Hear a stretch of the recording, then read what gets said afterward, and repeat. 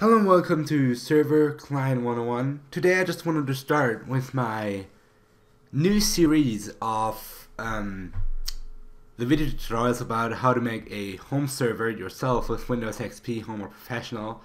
So this here is my simulated bot computer for I simulated the 30 bucks computer or how many it was with 512 megs 40 gigs of hard drive and uh, yeah just um, simulated that. And the problem with those bug computers is um, maybe like people who owned it before give you give you password and such but if you log in the first time you notice this.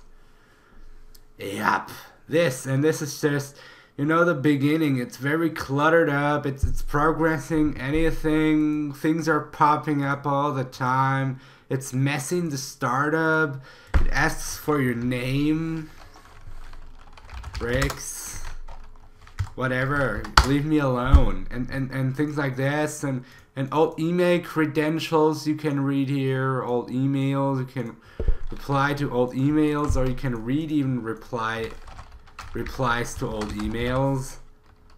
Like they did whatever. But you see it's very very cluttered up this system. And it's very very junky. And here you have an installation wizard. And everything's just popping up.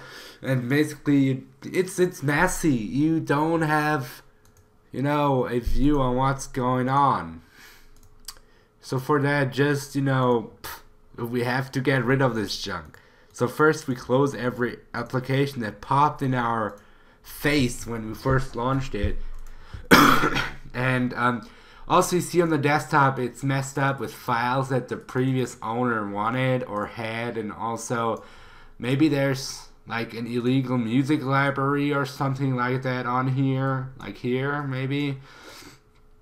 Also pictures are in there old ones so um, basically, it's very cluttery. It's very, very junked, as I like to call it.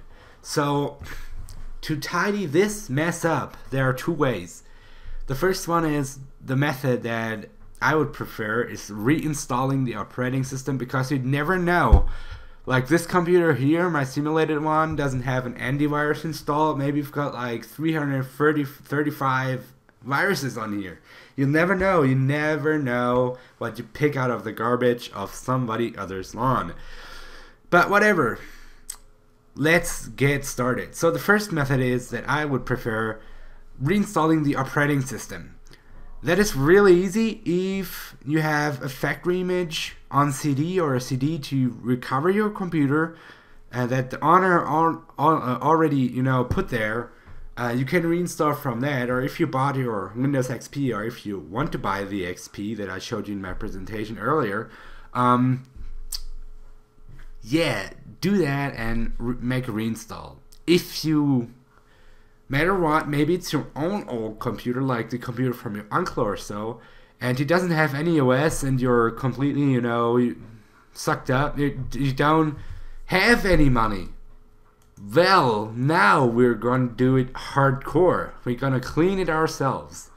So to do that, the first thing is that we click on Start, right click on my computer and click Properties to see what we have to deal with.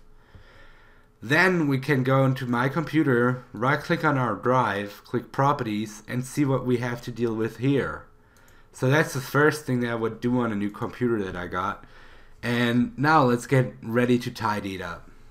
So first, let's go to start, run.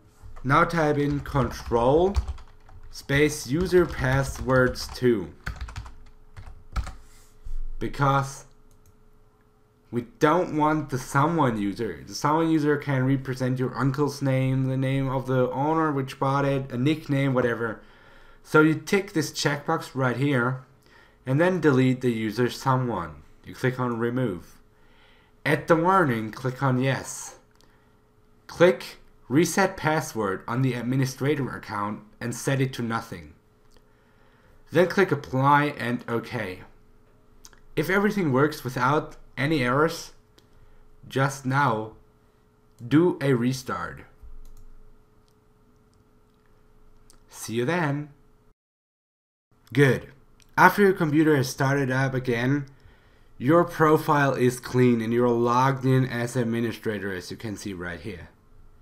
So now everything is cleaned for this profile. No auto starts, nothing. Now we have to delete the junk the older profile made. So click on my computer, go to the local disk, look for any junk in here. Then we go into tools, folder options, view. Now we will say display the contents of system folders, uncheck hide extension for known file types, and we also say show hidden files and folders. And also we uncheck hide protected system files. And we click apply and OK. And now we click on documents and settings. Now you can see the folder someone. We just dragged it to our garbage can and most of the time this will delete. Sometimes there will be an error, but in this case it did. So just open up your recycle bin and empty the recycle bin. And now all the junk, all the file-ish junk is gone after emptying. The next thing we need to do while this is deleting, we wait it wait for it to complete. It doesn't take a long time. Wow, that was really junky that I did there. Um, great. Okay. So now we need to delete all the software that is installed and that we and that we don't need anymore and all the Windows components that we don't need anymore. So click on the control panel and switch to the classic view by clicking on here then click on add or remove programs. After that, delete everything that you don't need anymore in here, and then click on add remove Windows components. Go into accessories and utilities and get rid of games. Then, it's optional, you can use the indexing service later on to search for everything that is on the server if you want.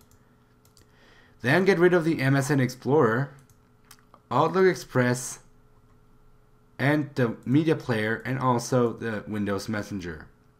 Click Next and it will delete everything of your hard drive. Click Finish. The next thing that we need to do, we need to see the network status in there.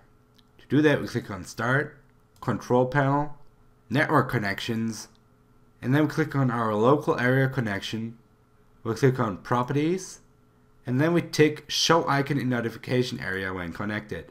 We click on OK and close. Now we can close out of there. Next thing is to get the user sorted.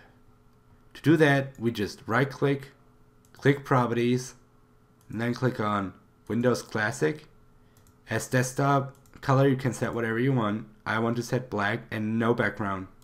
Screensaver we disable completely, and in the power management, which you can reach by clicking on power, we set to always on. Then we click on apply, OK. And in appearance we can leave everything like it is. And on settings you, could, you should choose the resolution of your monitor. Then we click on apply. After that is done, we click on start, right click computer, and right click on properties. Then we click on advanced and settings on the performance tab. So basically we get rid of everything with just check the shadow ones. Show window contents while dragging I would always take. Then I would say smooth edges of screen fonts. And also use common tasks in folders. And use drop shadows for icon labels on desktop. Now click apply. This will take a little while. And OK. Click OK again. You'll notice that your computer reacts a little faster now because you just uncluttered it. Good. The last thing that you can do is you can get rid of all those things by just remove from list. Right click remove from this list. Also, we don't need an email in there. And now you finally got rid of everything except this one game, which I will get rid of. Um, and your computer is completely uncluttered and ready for server usage. So see you in the next video where we're gonna set up our network connection. See you then.